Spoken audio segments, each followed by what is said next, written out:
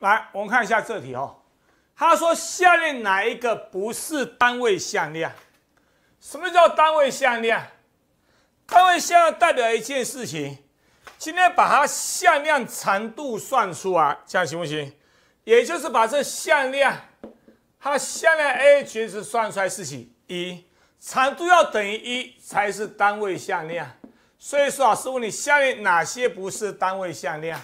麻烦你就把它长度给算出来，怎么算？一样根号，直接把坐标提方 a 平方加 b 平方九分之一加上九分之四，算出来根号九分之五有没有等于一？不是等于一，不等于一就代表怎样？它不是单位向量。OK，那这根号 a 平方加上 b 平方。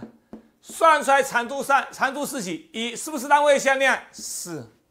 这样根号 a 平方二十五分之九加上 b 平方二十五分之十六，所以根号把这两个平方相加，把长度算出来，算出来等于几？一是不是单位向量？是。